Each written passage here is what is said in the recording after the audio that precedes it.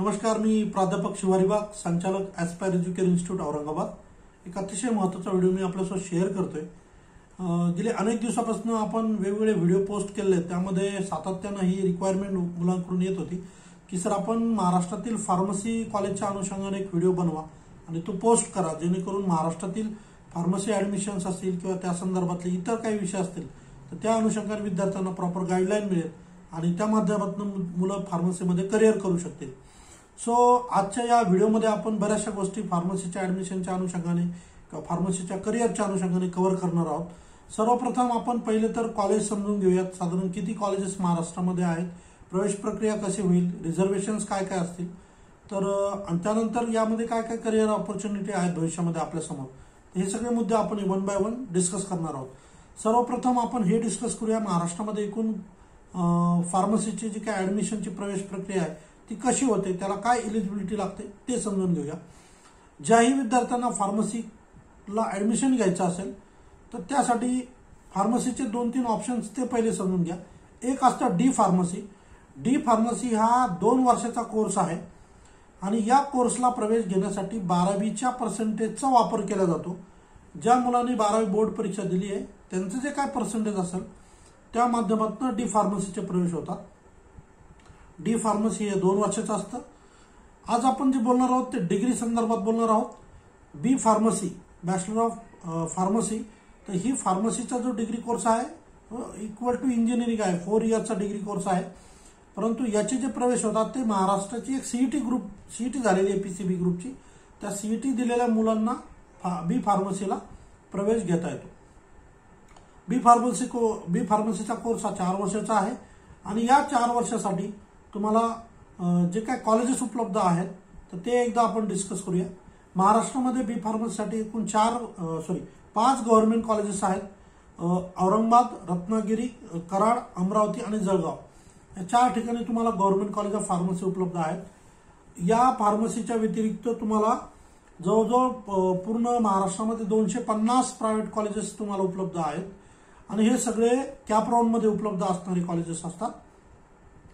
याशिवाय इतरही काही इन्स्टिट्यूटचे इन्स्टिट्यूट आहेत ज्या युनिव्हर्सिटी डिपार्टमेंट म्हणून माहिती आहेत. जसं नांदेडचं एस आर टी एम युनिव्हर्सिटीला एक डिपार्टमेंट आहे किंवा अजून काही ठिकाणी आहेत जे की ज्यांचे सुद्धा ॲडमिशन जे आहे तर कॅप राऊंड थ्रू होतं.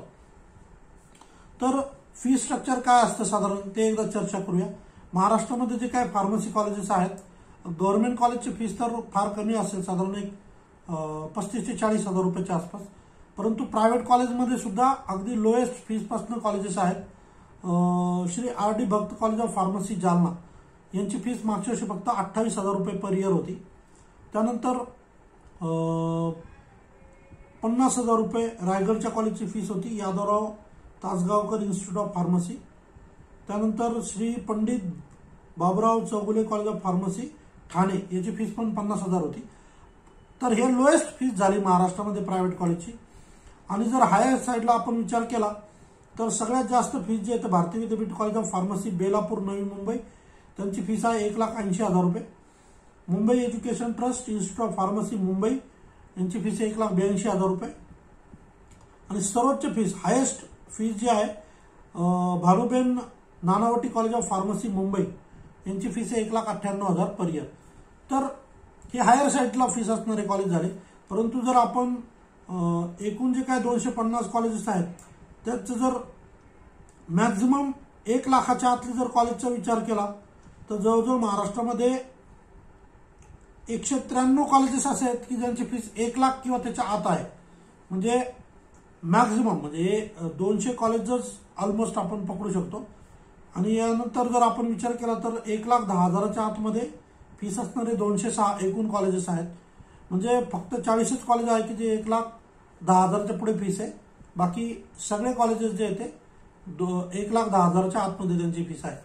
आता या कॉलेजमध्ये जर आपल्याला कॅप राऊंडमधून प्रवेश मिळाला तर याच्यामध्ये शासनाच्या सगळ्या सुविधा लागू आहेत.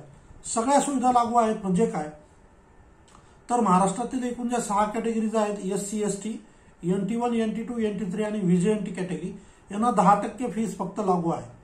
त्यानंतर महाराष्ट्र शासनाच्या ओबीसी कॅटेगरीच्या स्टुडंटला एसबीसी कॅटेगरीच्या स्टुडंटला आणि नव्यानं जे जाहीर झालेलं आरक्षण आहे लास्ट इयरला ईडब्ल्यू एस कॅटेगरी तर या सगळ्या मुलांना जे आहे तर परत पन्नास टक्के फीसमध्ये डिस्काउंट आहे. जे ओपन कॅटेगरीचे पालक आहेत ज्यांचं उत्पन्न एक लाखाच्या आत असतील तर त्यांना ईबीसी फॅसिलिटी मिळते.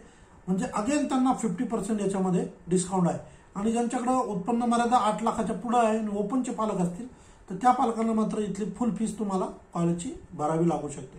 आता या फार्मसीमध्ये आपण ॲडमिशन घेतल्यानंतर भविष्यामध्ये जेव्हा आपण पासआउट करून बाहेर पडणार आहोत तर तेव्हा आपल्याला कुठल्या कुठल्या करिअरच्या संधी आहेत?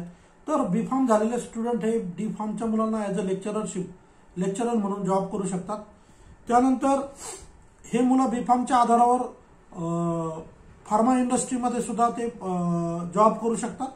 त्यानंतर या मुलांना जर त्यांनी एम फॉर्मसाठी प्रवेश घेतला पुढे तर एम फॉर्म झाल्यानंतर ते परत एकदा फार्मा इंडस्ट्रीमध्ये जॉबला जाऊ शकतात किंवा मोठे मोठे जे इंडस्ट्रीज आहेत फार्मा इंडस्ट्री त्यांचे आर एन डी सेंटर्स असतात.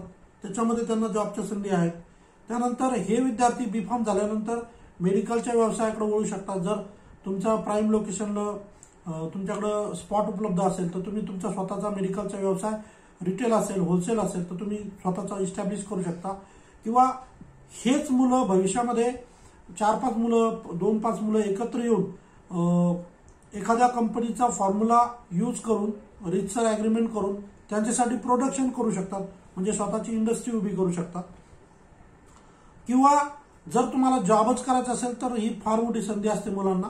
याच्यामध्ये अजून एक ॲडिशनल ऑपॉर्च्युनिटी असते की तुम्ही as a marketing representative MRship सुद्धा तुम्ही करू शकता. मोठ्या मोठ्या फार्मा इंडस्ट्रीमध्ये खूप मोठे मोठे पॅकेजेस मुलांना मिळतात. परंतु याच्यावर थोडासा ट्रॅव्हलिंगचा वगैरे विषय असतो. परंतु ज्या मुलांना फिरण्याची आवड आहे फिरू शकतात.